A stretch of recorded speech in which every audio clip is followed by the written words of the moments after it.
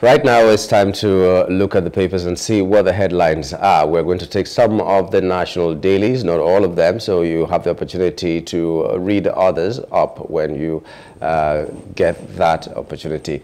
Um, we're We'll be looking at The Punch, the Daily Trust, and so many other uh, newspapers. But our guest this morning is Barrister Justice C. Uhuegbu, human rights lawyer and 2019 presidential candidate of NAC Party.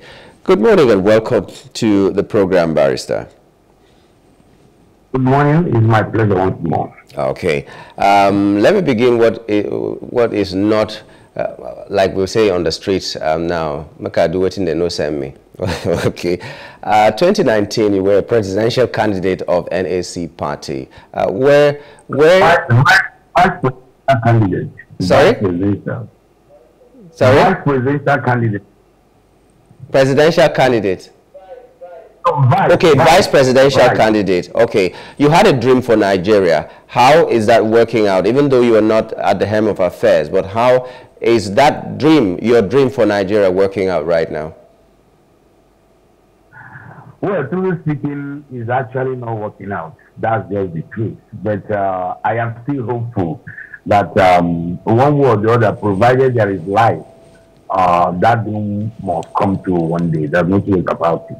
Because one thing is to have a dream, another thing is to focus on that dream, and another thing is to pursue that dream. And by the special grace of will work out, and it will work out for the good of every Nigerian. Amen to that. Amen. So let's begin with uh, the Punch newspaper this morning. The Punch newspaper leads with the um, caption, Federal government writes governors as agency predicts flooding in three states. Federal government, those, the writers are, federal government agency lists local governments in Akwa Ibom, Lagos, Adamawa, Ogun, Benue, 26 others as high flood risk areas. Benue demolishes uh, riverside buildings. Lagos directs residents to relocate. Sokoto, Edo, others begin campaigns. Uh, so let me get your comments on that. Well, the truth is that um, yes, is another, or we're entering another rainy season period, and uh, fortunately or unfortunately, once it comes like this, there will be issues of flooding and all the rest. But um, I think one of the problems we had earlier before now is uh, that if the government has planned so much for future, and that is why you need to, as a government, you need to always forecast you know, the future. Because you discover that most of the buildings and most of the things that we are done, we are actually built in a drainage way and where the water should also flow easily to the sea or to the river. But unfortunately, because of the lapses and the insensitivity of the government, at times all these things are, are blocked. And now we are not seeing the impact of some of these things. And secondly, the government should always prepare because in other countries where there is always flood, it will- it's not only in Nigeria that there is flooding. It's not only saying uh, the, the federal government warning states about flooding. What proactive action or measure is the government actually taking in order to make sure that you know they prepare for this flooding? So that in fact you don't need to wait until it happens. You need to begin to work so that if actually it comes, because it's a, it always comes as a natural disaster, you will now be cushion the effect of those things so that it won't be much. Hmm. I, I don't know what they, they, they can do because uh, at some point, uh, was it last year or so, when they said the, the dam in Cameroon was going to release water. Every time that happens, uh, flooding happens in a lot of places and the government just tells the people, leave where you are, go and look for refuge somewhere else. And so I, I don't know what as a government they could do or they could have done to make sure that when it comes, because they say from April to November, that's a very long time uh, for, for to be expecting flood and trying to do anything about it. What do you think they could have done? No, for me, the government knows what to do. That is why it's a government. That is why it's a government. You are in the helm of affairs. You are to, you know, to administer for people to be there for, for the interest of the people and others. And if you remember, in the wisdom of the constitution, the constitution says that the main aim of government is for the welfare and security of the people. So this one now falls under the welfare of the people. So it's not enough saying they should relocate. Where are they relocating to? If you feel that location is the best option, you know, to curb that effect, then provide the location exercise, provide amenities and all the rest so that they can move. Build local houses. In fact, build, build, build houses so that they can relocate for that meantime. And then look for a lasting solution. Now, for example, this thing has been seen, it has been forecast. What is the government doing? It's not just seeing it and forecasting it. There are agencies responsible for this. What are the agencies doing? What recommendations are they making? So the government knows what to do. It's not a matter of what are they going to do. They know what to do. Only that they forgot, they, they, they refuse to do the needful. Mm. Okay, uh, let me move to another issue. Uh, in the uh, oil sector, uh, marketers excited as Dangote lowers diesel to 1,000 naira per litre. Does it excite you as well? Because um, we have well, seen we've seen where petrol and all that, and people are even saying that he should sell for 550 naira. I, I don't know. Do, does it excite you at all?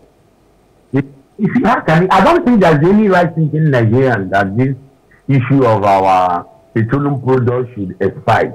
Reason being that this is a country that produces crude We're not talking about diesel, about uh, about this. Or, we, we produce this food. God has given it to us as a natural resources. And this thing flows like river on daily basis.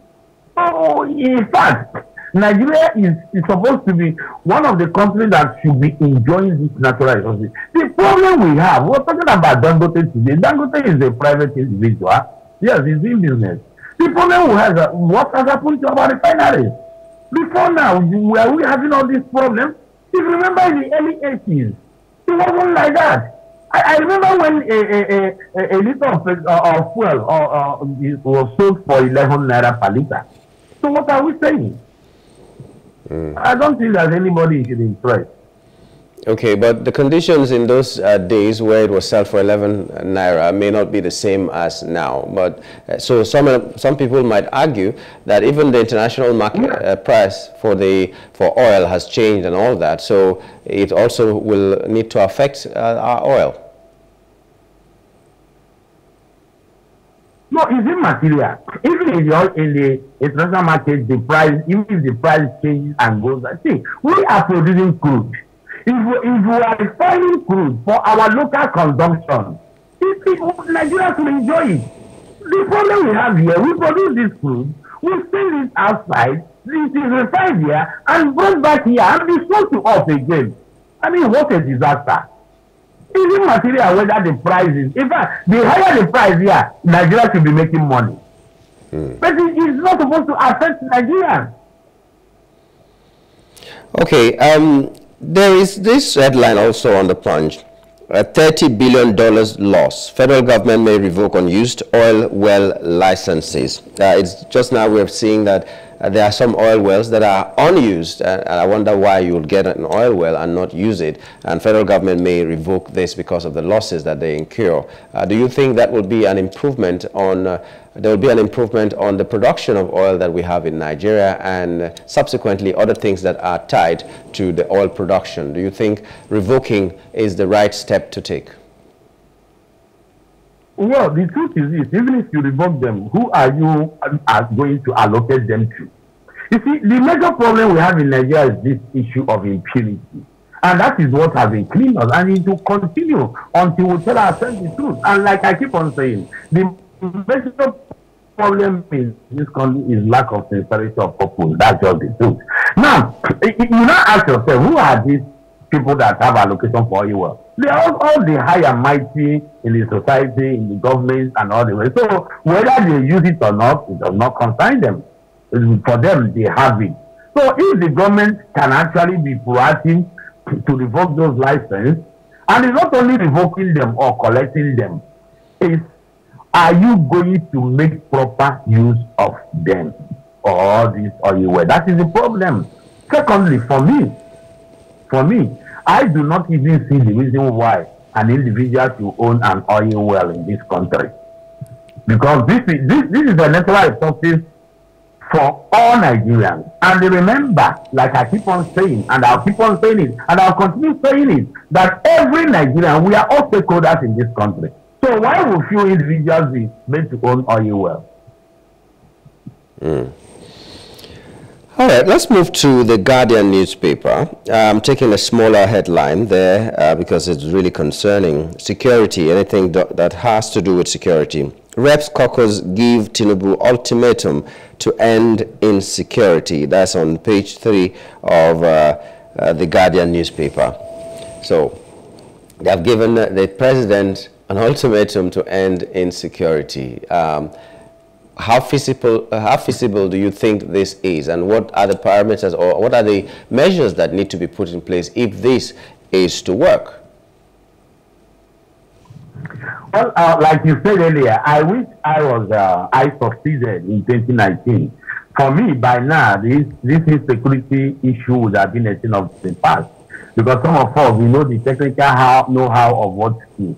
Uh, it, it, it takes me back to my earlier statement and what is that statement? Lack of sincerity of purpose. You see, it's not enough coming to the pages of newspaper every time, going to television, organizing symposiums and all the rest, going to National Assembly saying they're going to end insecurity. My brother, let's be realistic to ourselves in this country. It, it is not possible because the government is not ready to do the needful. These people that are saying these things, how many of the senators How many of the House of Rep members without security?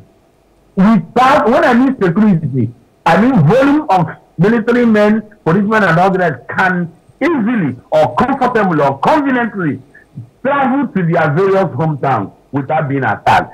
It's not possible. So they say in Abuja uh, the National Assembly or anywhere and discussing and all that, but they know what to do. And for me, it's very simple. Because when you have a security apparatus that is confined and that is dedicated to doing their job, all these things will stop. But the problem we have is that we are playing politics with everything. Unfortunately, we are still playing politics with security. How do you mean we're still playing politics with security? Yes, everything, everything today has turned to be politics. Because uh, something will happen, there will be blame games. These people will be blaming this sector, or agency will be blaming this one, this agency will be blaming this, this agency will be blaming this. And they are talking about politics. It's not enough. Like, look at what they're saying. They are going to end insecurity. How long have they been in power now? How long have they been in government? Do you need to tell us? You don't need to tell us. In fact, let me tell you the truth. A good security expert doesn't even need to tell people your security tactics in order to secure your territory. You don't come out every time on the newspaper or the media to start saying these things. You are hyping it. You're only trying to let it be active you are doing anything. That's why I say we are playing politics with everything. These things are unnecessary as far as I'm concerned. Do the needful. Mm. Okay, some uh, now uh, some politics now. Uh, PDP governors Atiku Wike comes intensify positions at make or ma neck. My, my, my confusion is that a lot of people have been removed from their parties. A lot of people have been suspended from their parties or expelled from their parties because of what they call anti-party, because of some very, very um, insignificant, if you ask me, the things that uh, they may have done or said. Uh, now, someone like uh, former governor of River State and now minister of the Federal Capital Territory, is still in PDP and even gunning for very, very high positions. Uh, he still has a camp in PDP and all that. What are the the legal intricacies? What are the legal complexities that uh, make it difficult to remove or expel or suspend someone like Wike? Because we've seen a lot of things forming gangs, if you ask me, against the party and doing so many other things. And right now he's in government in an opposition party on a, a different party. So what are the legal implications of removing someone of, let's say, Wike's standing? Because we've seen governors being suspended, governors being uh, sanctioned and all that, but Wike is still enduring in PDP. So what's going on? well, as far as I'm concerned, um, there, I, there's no law in the first place. There's no law that says if you're a member of a particular political party, you cannot serve in a government that is formed by another political party. There's no law to that effect. Mm. And uh, if we actually tell ourselves the truth as Nigerians and as human beings collectively, for example, uh, in 2019, I was a vice presidential candidate. That we did not come into power does not mean I cannot serve in any other government. Because the what is paramount here is that thing you want to do, can you come up and contribute your own quota to the to the to the society? Remember, the problem we have in Nigeria is that we play more poli- more uh, uh, uh, I put party politics than playing politics the way it should be. If you become the president, you are the president of Federal Republic of Nigeria. Forget about the party you came from. Yes, party is a platform. But you have become the president of Federal Republic of Nigeria. At that point, you are not supposed to be talking about party. Wikena is the minister of FCT. FCT comprises both PDP members, APC members, and other political parties. So he's not answering the minister for APC or PDP. So I don't see anything wrong in that as far as I'm concerned. Yes, but if you now come to political parties, they have their own constitution that deals with internal, you know, policies or internal democracy within themselves. And I'm aware also that they always have this issue of anti-party activities and all the rest. I don't see somebody who has been given an appointment uh, uh, to serve in a government. I don't see it as an anti-party activity. No, for me, I don't see it that way. There are so many things that can constitute an anti-party activity. Like, for example, election is being conducted and you are in, in PDP, you are now working for A, uh, APC openly or you're making some derogatory statements against your party to favor yes but we saw that in the in the presidential election. Wike was very vocal about it. The governorship will go to PDP but the presidential he was gunning for the APC. How much anti-party can someone be? And then he was the spearhead when there, were, there, was a G5 that was formed against his own party and all that. They worked against his party. So what other anti-party activities do we need to see? Uh, I'm talking about this because there are people who have been suspended for less crimes, uh, as it were. So what is so difficult in his suspension. Yes, he could be a minister because uh, no, no party, uh, it is not a one-party thing, as you said, but other things that have happened before now, and we keep asking, why is he not suspended? Why is he not sanctioned? What makes him greater than a party that is like the biggest opposition party right now? We just want to see if there's a law or there are some legal implications that if he's removed, uh, the party might crash or something, or he might take them to court. No, no, no. Normally, if he's removed, he might decide to take them to court. But at the end of the day, taking the party to court, are you going to win the matter? It's either here nor there. But the truth is this the party itself is supreme. Somehow, the constitution is supreme over its members and others. So, if the party decides not to suspend him or not to initiate any proceedings against me, that is their business. But as far as I'm concerned, no one person is bigger than an association, especially because a party, a political party is an association registered, especially when that association is registered has a constitution. So for, for the party, I don't know why they may have chosen to toe that line or nothing. I don't think that he's bigger than the party or anything. But if they are going to suspend him or do any take any action on the fact or simply for the fact that he was appointed a minister, no, that one will not succeed. But there are other uh, reasons where they can actually lay their hands to suspend him, provided they have their facts and figures. So as far as I'm concerned, nobody is. In fact, the court has said this severally and has interpreted it in so many decided cases that the, the party and its internal affairs does not concern anybody. The worst you can do, if you don't like that political party, you move to another political party. Mm, interesting, because in River State right now, his loyalists are all in APC and he's supporting them and all that. So I was just, now we have like two governments in River State because of that. And he's still waxing strong. Right now, he is one of the contenders for to get all the, the, the, the juicy positions um, what we're seeing on the papers is Atiku's camp and Wike's camp in the same PDP. And I'm just wondering, I'm not that much of a politician, so I'm asking to know, because you have been in the highest uh, rank of a political party. That's why I needed to know, and with your background in law. Now, we go to Vanguard newspaper, and the leading headline there is food inflation slowing, uh, slowing Federal government's revenue rises. That's according to Edun, the, Wale Edun, the Minister of Finance and Coordinating Minister of the Economy.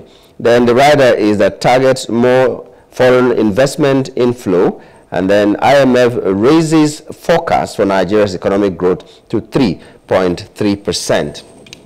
Now, they went to the United States and said that uh, the food inflation is slowing down now and that the federal government revenue is rising uh, that's the finance minister.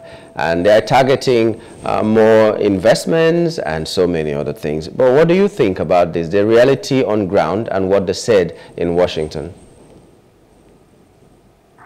You see, um, the truth is that we are Nigerians and we all live in this nation.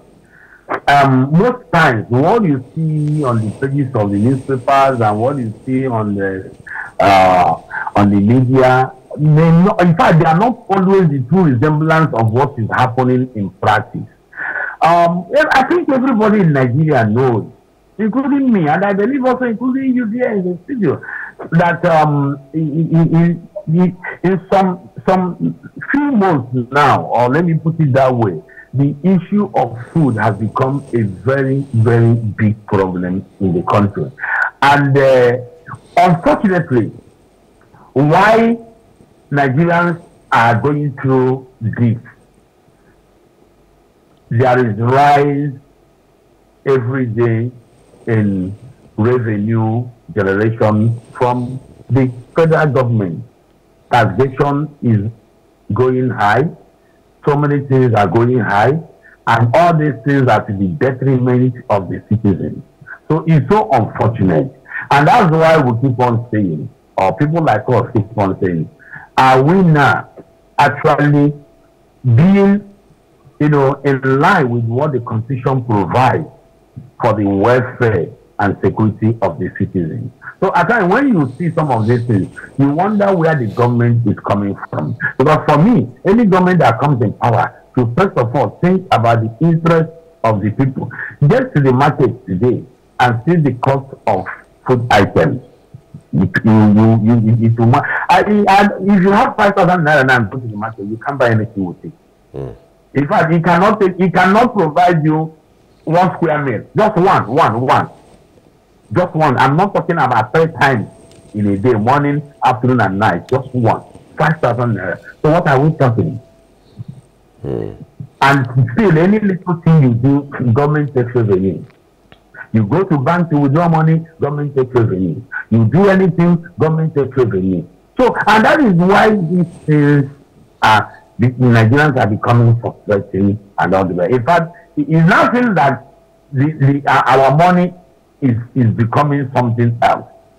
Get to the market today now with 50,000 naira. You cannot buy, you, can, you cannot feel, half, half of the cellophane bag will not, will not be filled. How much is I don't know when last you went to the market. This this, this small piece of garlic in the market now is about three thousand five. Mm. A tuber of yam is about two thousand five. One tuber of yam. So what are we saying? I don't want to talk about pepper, tomatoes, and all the rest. that place is no going. And these are things that people need on daily basis. I don't want to go to beans. I don't want to go to rice. A bag of rice today that we used to buy for 7,500, 8,000 naira is almost 80,000. What are we saying? Mm. If you're saying almost, that means you are in a very good area because in some places it's 90,000 and I've heard some people say they have bought it for like 100,000. So I don't know. So if it is almost 80,000 in your area, buy like 10 and keep because uh, it might even still go higher. We, but we pray against that. Now let's take a final one. Um, Kano State Anti-Graft Agency files fresh charges against Ganduje. Former Governor uh, uh, Ganduje uh, is in the EFCC net. Uh, fortunately or unfortunately, he's the chairman uh, national chairman of the ruling party APC. In fact, because of this uh, problem of uh, him facing accusations by EFCC, the Gandollar thing, and so many other bribes allegations against him, the ward uh, where he comes from, which eventually is called Ganduje ward as well, uh, suspended him from the party and said that he should answer to these uh, purported crimes before he can come back into the party. And these people have been now suspended again by higher body of the party, the local government. Uh, so the local government is, is not in support, the state is not in support, the national is not in support, only the ward, and now they've been branded anti-party. So where do you see this case of Ganduje even going? Well, the, uh, the truth about the matter is that uh, personally, I think the party did what they're supposed to do. Uh, I wish that um, will continue this way because for me, uh, once somebody has an allegation or is being facing trial for anything, uh, that person should be suspended from anywhere he is holding any public position until that matter is dispensed. Uh, in as much as um, the, the National Constitution has amended, presumed every accused person innocent until presumed guilty. But once is such thing, it, it, it, it improves on the integrity and the character of the person. And for me, I think uh, the party got it right at this point in time. We, we, we, we should begin to see a change. We should begin to see a change, you know, to see how we can do things better. Then my problem is not just um, EFCC arresting him or taking him to court. At the end of the day, what can they come up with? Because uh, you see, we're in a country now where people now believe that uh, there are two sets of law that is existing, one for the poor and one for the rich. Uh, look at the case of Bobrisky now, who was uh, taken to court and convicted for naira mutilation. He's not the only person that has been doing that. Go to parties that uh, you see involve government government officials. You see the way they spread the naira, abuse the naira, and all. That. I'm waiting to see one government official that EFCC will arrest because of that. So it's, it's, it's part of what we are saying. But we are watching. We are watching. As far as I'm concerned, uh, for me, the, the APC party got it right by suspending him for the for the meantime, letting him face his trial and finish his trial. Because somebody who has a pending matter, it, it, it goes to the integrity and the personality of that person, especially the case of corruption. Okay. Uh, well, this is a, a, good place to drop it. I know there are so many other headlines, but we'd like to thank you, Barrister, for being a part of our show this morning. Thank you very much. Okay, we've been talking with Barrister Justice C. Uhuegbu, human rights lawyer and 2019 presidential candidate of, or vice presidential candidate of NAC party on Off the Press. We'll take a short break and when we return, we'll be looking at our first hot topic. Stay with us.